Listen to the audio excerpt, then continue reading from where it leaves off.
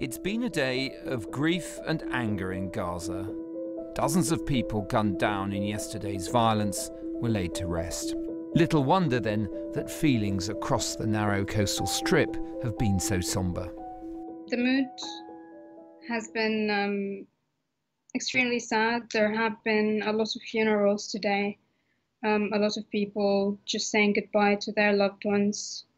Um, in my neighborhood, there have been funerals yesterday, actually, right after or during the protests. Uh, three funerals passed by my house. There were clashes today also, but at a much lower intensity. The mosques had not appealed for demonstrations, and people who did turn out faced tear gas dropped by Israeli drones. If they choose to send people forward to try to dismantle the fence or to attack Israeli troops, then the immediate consequence are that we continue to defend ourselves and then there are casualties on the other side. How to contain this violence there were calls today, not least in London, for an international inquiry into yesterday's events. There is an urgent need to establish the facts of what happened yesterday through an independent and transparent investigation, including why such a volume of live fire was used and what role Hamas played in events. But when Gaza was debated in the UN Security Council this afternoon, the American ambassador defended Israel to the hilt. I asked my colleagues here in the Security Council who among us would accept this type of activity on your border? No one would.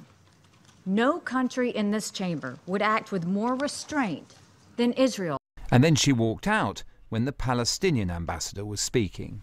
Well, I have to say that uh, uh, Trump uh, has sent his uh, envoy, his uh, son in law, came about 18 times with his um, envoy Greenblatt uh, to see the Palestinian leadership. There were constructive discussions. They were emphasizing that Trump will not stand idle. He will come forward with a plan. Instead, they have received a shocking move to uh, relocate the American embassy. They've seen a total denial and more and more speeches at the UN where the Palestinians' rights were totally ignored. Yesterday's embassy opening provoked a deep chill with the Palestinians. They've tonight recalled their representative in the US in protest. President Trump, though, has implied there could be a quid pro quo for the embassy move. Siding with Israel, especially on these two very crucial issues, the JCPOA, the Iran deal most of all, um, also can give cachet to the American administration. After all, if you think of the peace process, it's Israel that's being asked to make concessions in a sense or to give back territory and take some risks. And usually the American position has been, therefore, we have to stand by Israel and make sure the Israelis are willing to take that risk.